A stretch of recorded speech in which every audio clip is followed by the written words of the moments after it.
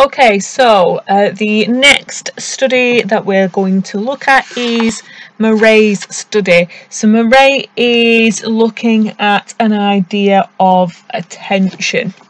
Okay, so um, we first need to think about um, attention and how that appears to work from previous research. So we think attention has a selective nature. So in other words, you pick what you attend to. So Broadbent argued that to cope with the flood of available information, humans must selectively attend to only some of the information in front of us and somehow tune out the rest. So the idea behind that is that our brains are being constantly bombarded with information from our senses.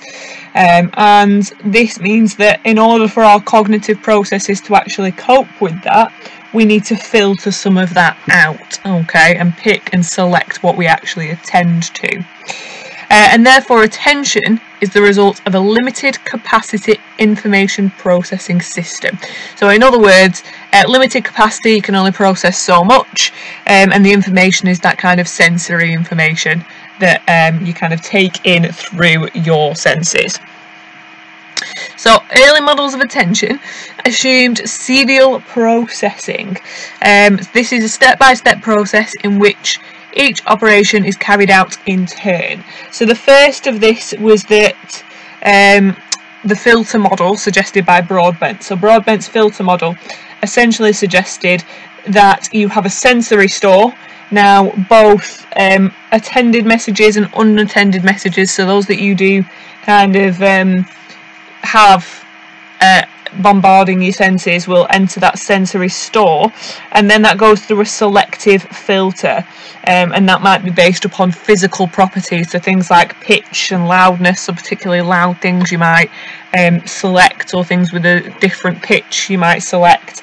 And anything which is unintent unattended to so isn't selected at that point is then blocked out and then that's kind of bottlenecked down into higher level processing and then you remember that information. So that was the first one. Um, and then other models came after that. Now there are two methods really of studying attention. So in order to study um, attention you might look at uh, dividing attention. So when you look at dividing attention, you appear to present participants with two or more simultaneous messages and you ask them to respond to all or both of the messages. So I might play like one sound into one ear and another sound into the other, and I'd ask you to pay equal attention to both. Okay, um, whereas you can do something called shadowing, um, which we're going to talk about a bit more in a second, and that focuses attention um, on a particular message using a dual task method. Okay, um, now what that would be is using selective attention. So in selective attention, people are presented with two or more simultaneous messages. So again, a sound into one ear and a different sound into the other. And I would instruct you to process and only respond to one of them. Now, the most popular way of doing this is that shadowing that I just mentioned. Um, so we would feed one message into the left ear and a different one into the right through a pair of headphones, and you would be asked to repeat one of those messages aloud as you hear it. Okay, so in shadowing, if I um, said a sentence, you would also repeat the sentence. You wouldn't wait till I finished the sentence, you would repeat it word by word after me. Um, now, this shadowing technique is a form of what you call dichotic listening. So this was first used by a researcher called Cherry when he studied something known as the cocktail party phenomenon. So the cocktail party phenomenon is the idea that um, you know, when you're at a crowded party, as a cocktail party as the name suggests, so a crowded party and it's very loud and it's quite busy, there's a lot of voices, and yet somehow if you're having a conversation with one other person or even a small group of people in that very crowded, busy environment, you can hear what they're saying, whereas the rest of it appears to be kind of a droning noise. And that's the cocktail party phenomenon or effect.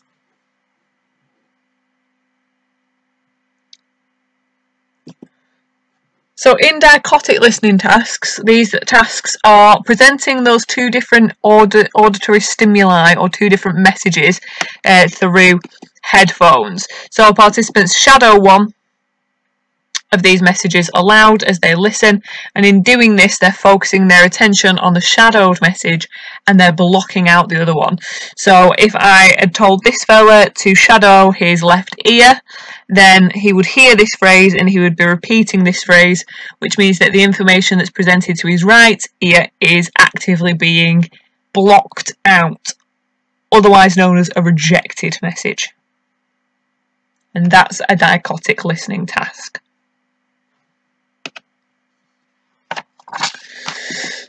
So, um, Cherry's method, uh, method sorry, of shadowing one of two dichotic messages in his study, um, which he used looking at the cocktail party effect, um, were ignorant of the content of the message.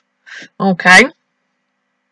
So other researchers have gone on to build upon Cherry's work on how people can attend to one particular message by investigating why when you are paying attention to one particular message you seem to remember so little about the other conversations. And so the aim of the first experiment in this study was really kind of testing Cherry's findings in a more rigorous scientific way. And the second and third experiments, so there are three experiments here in total, aim to investigate other factors that can affect your attention. So are there any things which are important enough to, to suddenly make you start paying attention to information that you are currently rejecting? So while we are paying attention to one message, that's the one that you're shadowing, we appear to set up a block or an inattentional barrier to any others. Um, and this only focuses our intention on the um, selected message. So it's kind of like, you know, when you're talking to somebody and they're busy looking at the phone or they're texting, something like that, and so they can't hear you at all um, even when you're talking to them because they're paying attention so much to what they're texting. So it's that kind of idea. They're focused all their attention on like the message that they're sending and so they've set up a block or an inattentional barrier to anything else and therefore that's why they they can't hear you. So Moray was interested in what types of message could penetrate this block and would be paid attention to by the participants. So we aim to find out which factors would enable an unattended, dichotically presented message to be noticed. Okay, so when you're presenting two messages at the same time, one's being shadowed and the other one's being rejected, what kind of things will make you suddenly start paying attention to that rejected message?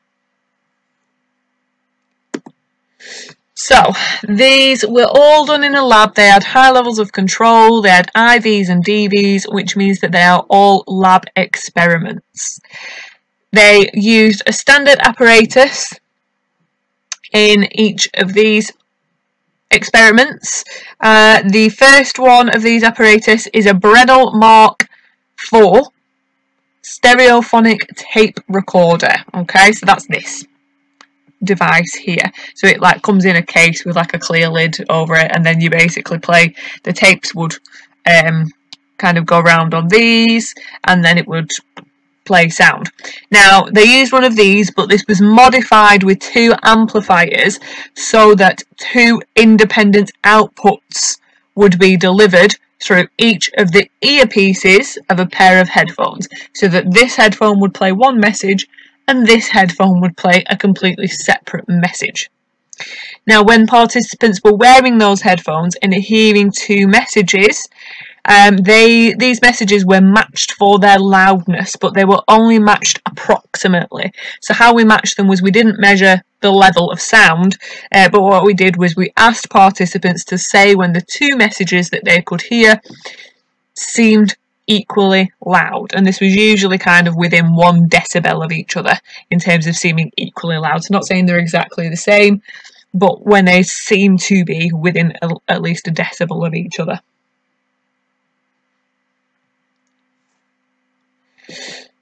Uh, there were a few other controls used. So participants uh, first had to complete four trial shadowing tasks on passages of prose, and this was just as practice before the study, so that their their ability to remember information from these passages um, wasn't actually affected by the fact that they'd never done shadowing before, and therefore that practice throw, uh, was to throw them.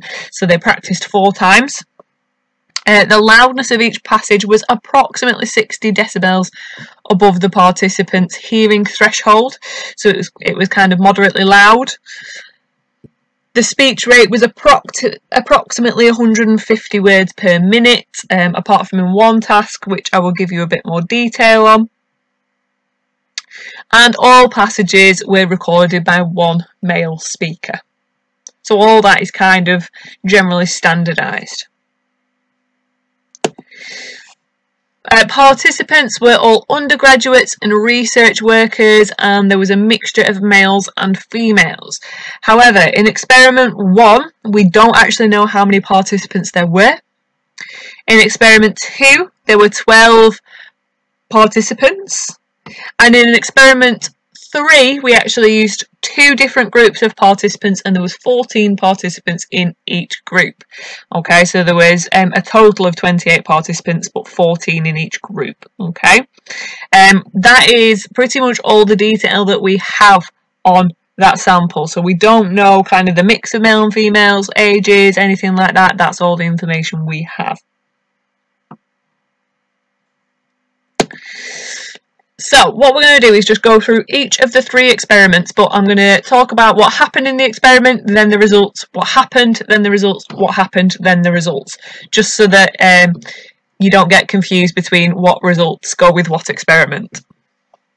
So in experiment one, um, they um, presented a short list of simple words to one ear and this was a short list so it had to be repeated several times.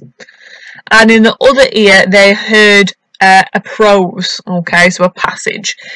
Now they had to um, shadow the prose while the short list of simple words was repeated 35 times so the word list was faded in after the shadowing had begun, okay?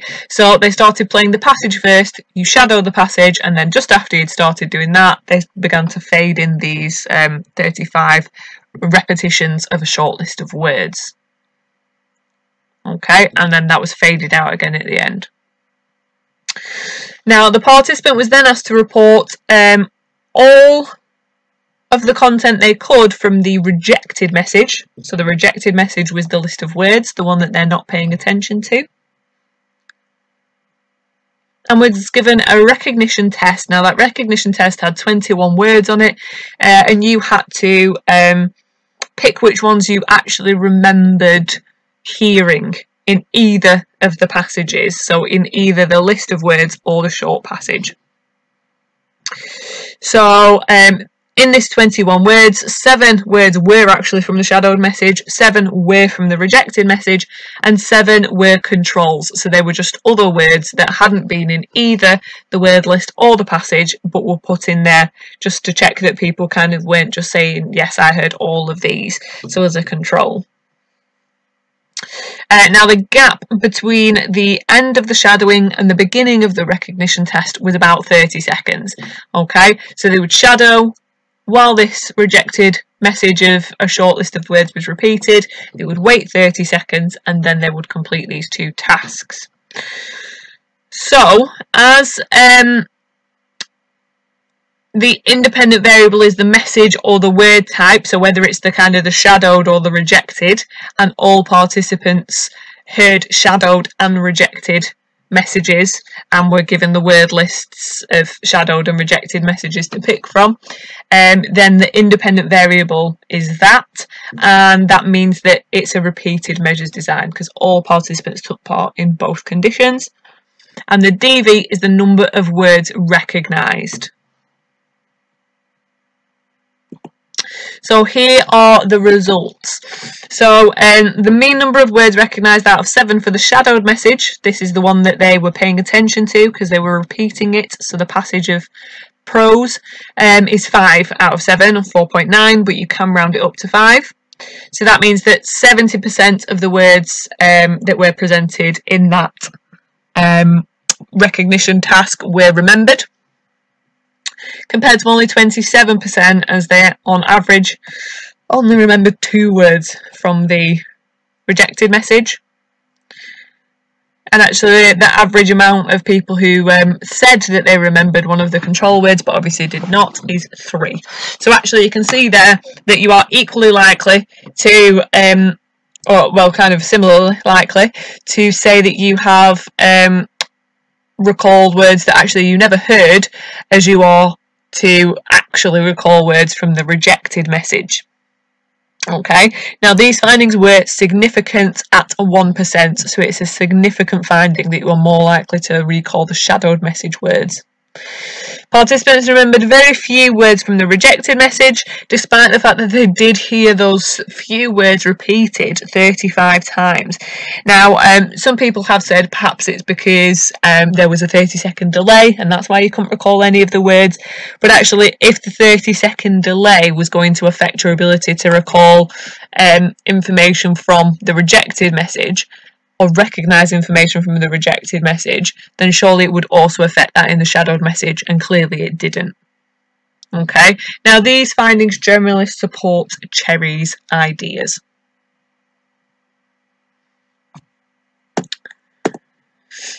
So, uh, in experiment one, so here we are, so we've got a rejected message, just a list of words being presented, and a shadowed message of a passage. So participants recalled 27% uh, of words from this message, but 70% from this message.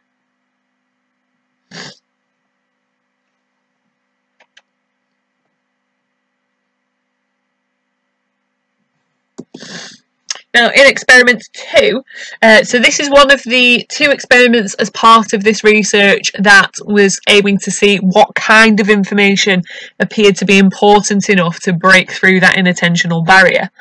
So, in this experiment, uh, they shadowed 10 short passages of light fiction. So they were told that their responses would be recorded and that the object of the experiment was for them to try and score as few mistakes as possible. So they were basically given instructions in this um, to switch which ear they were shadowing. So obviously, like I say, you're getting one message or one of these short passages through the left ear and another separate passage through the right ear. So the instruction was basically to kind of switch ears, so to switch which message they are shadowing. So these instructions were, were either affective or non-affective. So an affective instruction would be one that was preceded by the participant's own name. So for example, an affective instruction for me would be Bethan, switch to your other ear. Whereas a non-affective message would just be switch to your other ear, for example. So um, half of the instructions uh, given were affective. Participants were classified as having heard the instruction if they followed it, so if they kind of actually did switch um, which passage they were shadowing, or if they, towards the end of the piece of research, said that they had heard it. So the um, independent variable is whether the instructions were affective or non-affective, and all participants um, across the 10 passages heard a mixture of both, meaning that it's a repeated measures design, whereas the dependent variable was this, so the number of times that they heard it through either following the instruction or saying that they had heard it. Uh, now, just to show you the order of these, so these are the orders of the instructions. So they would hear um, kind of 20 pieces of light fiction in total, because remember they're hearing um, two in each one through the left ear, one through the right ear. So they were given some instruction at the start of the passage and then some instructions within the passage. So the instruction at the start of passage one, for example, was listen to your right ear. And then within the passage there, they've been given a non-affective instruction of, all right, you may stop now. Uh, listen to your right ear, and then they weren't given an instruction in the passage. Uh, listen to your right ear, and then they were given an affective instruction there. So, for example, John Smith, you may stop now. Okay, so um, what you can see is I've split up these instructions um, as three of the in-passage instructions were affective and they were um, passage 3, passage 7 and passage 10. So the ones that are in red. Uh, three of these were non-affective, so they're the ones that are in yellow, so passage 1, passage 5 and passage 8 and four of these they weren't given any instructions. So these were passage two four six and nine. They were given no instruction. Okay. And you can see like i say that in two of these uh, they were kind of uh, told that they were going to receive an instruction to change to the other ear but only in two of them so the no instructions passages were interpolated, so in other words inserted in the table at random. Um, the passages were read in a steady monotone voice at about 130 words per minute. And participants' responses were tape recorded and later analysed. So them kind of shadowing the messages was tape recorded and then we could then kind of play that back and analyse whether they did switch ear or whether they said, oh, did you say my name or anything like that. So whether that instruction was actually acknowledged or not.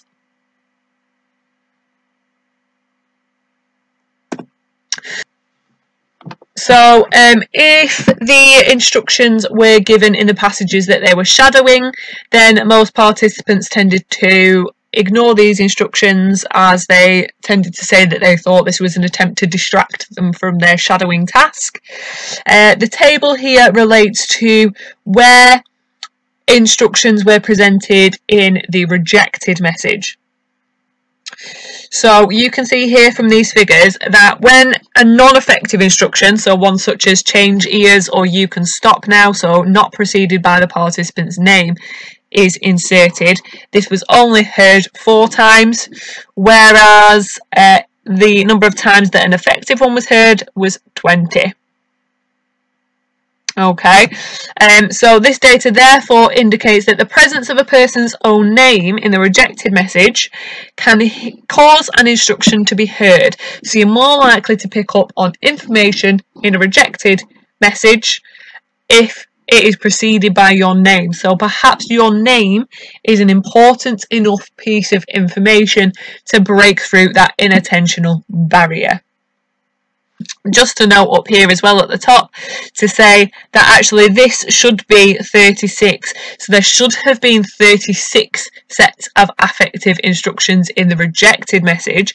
However there appears to be more because um, actually those who heard the instructions and then actually changed ear um, meant that the second time that they heard instructions they should have heard it as the shadowed message, but actually they were now hearing the rejected message because they'd had a message in the um, in there to switch ears, and then they actually did switch ears. So they heard basically the kind of incorrect message, and then followed would you know hear that affective instruction again. Um, and all of these ended up occurring in passage 10 so all of these extra ones came from passage 10 so that's really just a note to say why there are uh, differences in the number of uh, affective and non-affective when it should be the same because remember we had four um, no three sorry three affective and three non-effective so that should have been the same but obviously it isn't for that reason. And so what we find here is that participants rarely heard the instruction in the rejected message when they are not preceded by their name. So only 11% of the time are we hearing that message in comparison to when it was affective, and then we are hearing it uh, 51% of the time, so a lot more often.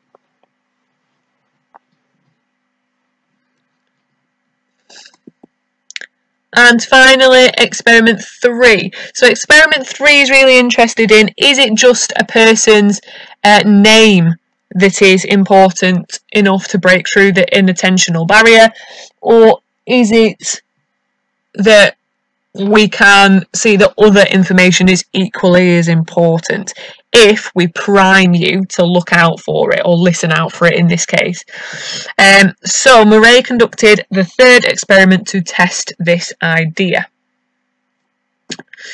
So the participants this time were given instructions that they were either in a dichotic listening task going to be asked questions about the shadowed message at the end, or they were given instructions that they were specifically going to need to remember as many digits as possible. Okay, now they were given one of the two instructions, so they're just doing this task once. So this is actually an independent measures design. The dependent variable was the number of digits correctly recalled. So participants um, were shadowing a message and rejecting a message in a dichotic task, just as they have in the previous experiments. And in some of these messages, digits were interpolated towards the end of the message. And remember, by interpolated, we just mean they inserted digits. These were sometimes present in both messages, they were sometimes present in only one message.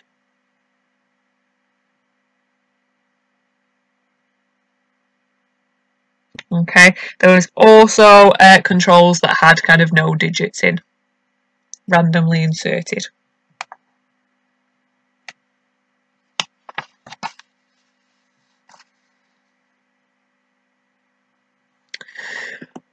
Okay, so what we found was that there was no significant difference between the number of digits correctly recalled in each condition. So this shows that the participants couldn't actually be primed to respond to digits in a rejected message, unlike experiment 2 where they spontaneously responded to their own name without being primed. So what that might suggest is that your name is an important enough feature to you that actually even if we don't tell you to listen out for your name, you're likely to pick up on it. However, in comparison, numbers are clearly not that important in terms of attention because even where we've said you must listen out for these numbers because we're going to uh, test you on numbers at the end, the numbers are still not important enough to break through that barrier.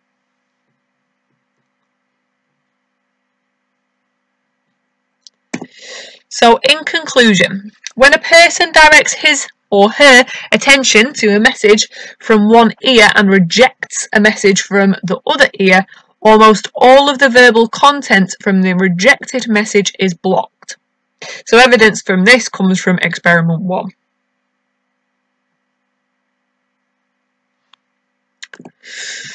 And Another conclusion is that this rejection is apparent even when the message is repeated many times. So again in experiment 1 we repeated that rejected message 35 times and yet only 27% of those words were recalled.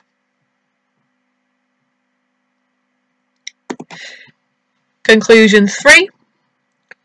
Subjectively important messages such as your own name can penetrate the block.